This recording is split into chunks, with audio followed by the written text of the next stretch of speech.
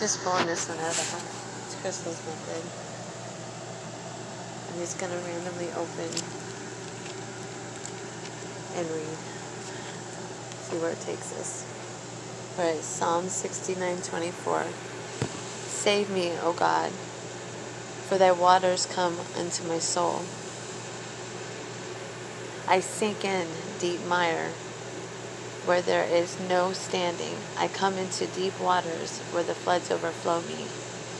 I'm weary of my crying, my throat is dried, my eyes fall while I wait for my God. They hate me without cause. Any more than hairs on my head, they would destroy me, being my enemies wrongfully are mighty. Then I restored that which I took not away. God, though kingdom my foolish, my foolishness, and my sins are not hid from thee. Let, let not them that wait on thee, O God of hosts, be ashamed for my sake. Let not those who seek thee be confounded for my sake. O God of Israel, because for thy sake I borne reproach, shame hath covered my face. I've become a stranger unto my brethren, and an alien to my mother's children. For the zeal of thine, the house that has eaten me up, and the reapproaches them that reapproach thee have fallen upon. When I wept and chasten my soul with fasting. That was my reapproach. Number 11. I made sackcloth, and also my garment, I became a proverb to them. 12. They, they that sit in the gate speak against me, and I was the song of the drunkards. But as for me, my prayer is unto thee, O Lord, absolutely. It is an acceptable time, O God. In the multitude of thy mercy, hear me. In the truth of my salvation, deliver me out of out of the mire, and let me not sink. Let me be delivered from them that hate me, and out of the deep waters.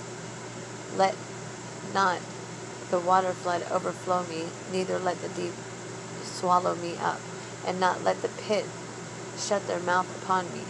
Hear me, Lord. Yes, please. Yes, hear me. For thy loving kindness is good. Turn into me according to the multitude of thy tender mercies. Number 17.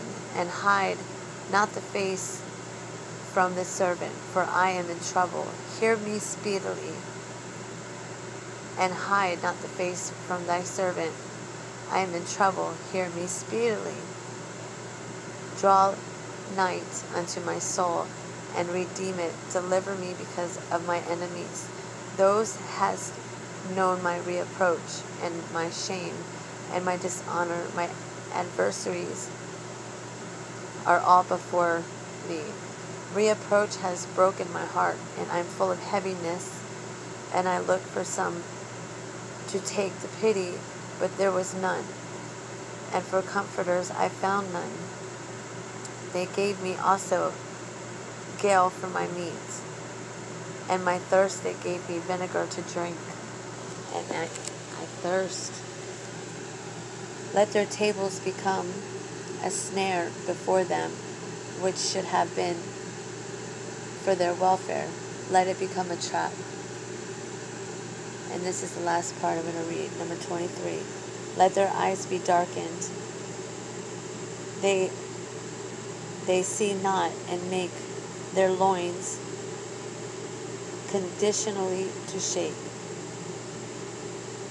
Pour out thy indignation upon them, and let thy wrath anger take a hold of them. That is so on point for me right now. That was Psalms 69. Krystle's method. Hope this finds you in good health and spirits. God bless.